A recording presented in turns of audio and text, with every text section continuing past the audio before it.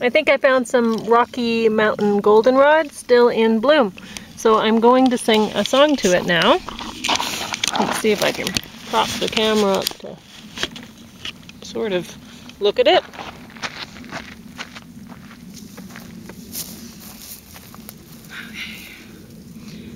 This song is called Rocky Mountain Goldenrod and I wrote it August 27, 2022. This goldenrod may only grow six centimeters tall or so, but flower heads are half that height, which makes these flowers quite at sight. With gray-green basil leaves the shape of spoons, they mark the alpine scape.